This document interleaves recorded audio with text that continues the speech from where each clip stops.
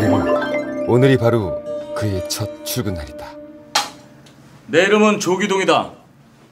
오늘부터 너희들의 새로운 담임을 맡게 됐다. 반갑다. 박수!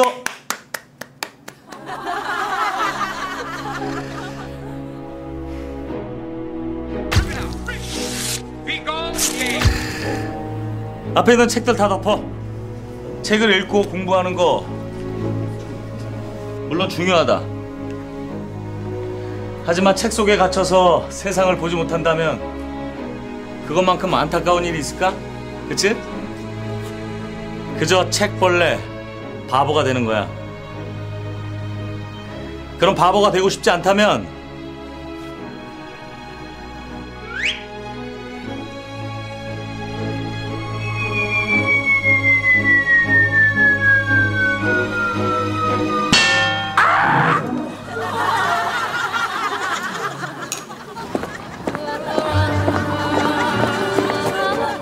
고3 수험생들한테 교과서를 버리라고 했다.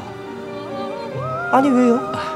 교과서 밖에 또 다른 세상이 있다는 걸 알려주고 싶었습니다. 조 선생, 당신 미쳤어? 그러다 대학 진학률 떨어지면 당신 책임질 거야? 이 학교 망하면 당신이 책임질 거야? 교장 선생님, 아니 그깟 진학률이 뭐가 이렇게 중요합니까? 교육은 사업이 아닙니다. 학교는 회사가 아니라고요. 아이들에게 정말 필요한 건 수학 공식, 영어 단어, 명문 대학교가 아닙니다. 아이들에게 정말로 필요한 건 학창 시절의 낭만과 우정, 그리고 가끔 하늘을 바라볼 수 있는 여유란 말입니다. 교장 선생님이 그걸 왜 모르십니까? 여유 같은 소리 하고 있네. 책 볼 시간도 없는 수험생들이 하늘 볼 시간이 어딨어? 아유 이걸 그냥 확 잘라버릴까 보다. 계약직 주제. 교장 선생님, 그는 기간제 교사였다.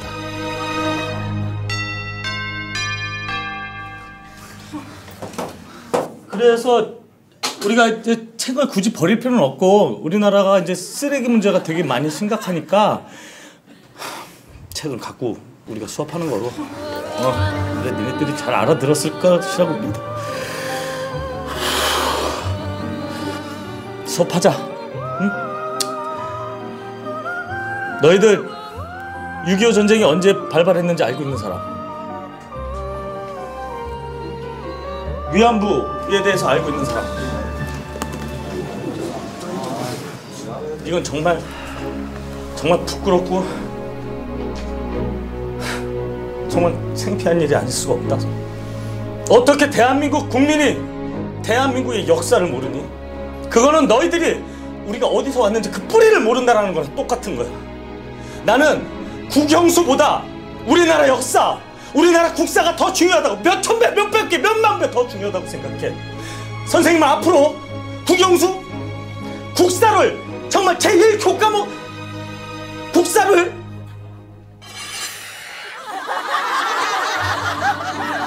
사극을 통해서 배우면 되게 좋아. 우리나라 사극의 교정이 너무 잘 돼 있어갖고 이게 빨리빨리 습득하는데 정말로 도움이 되더라고. 그는 기간제 교사였다.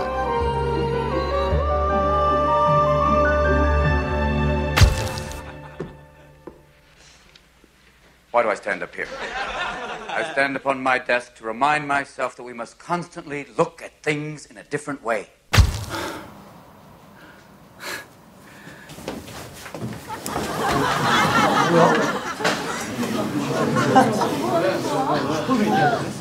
너희들도 선생님처럼 이렇게 책상 위로 올라와봐. 여기서 보면 세상이 달리 보여. 어? 자, 선생님처럼 올라와봐. 괜찮아.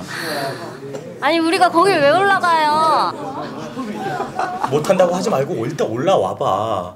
선생님처럼 이렇게 올라와서 봐봐. 세상을. 다리가 안 올라가서 못 올라가겠는데요? 다리 올리면은 치마 찢어지거든요. 다리 구부리는 것도 힘들어 죽겠는데 지금 장난하시? 너희들 이 녀석들 그게 지금 교복이야 레깅스야? 어?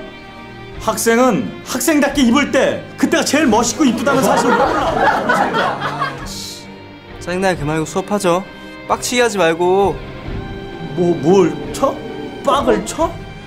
빡치게 한다. 뭐? 다시 한번 해봐.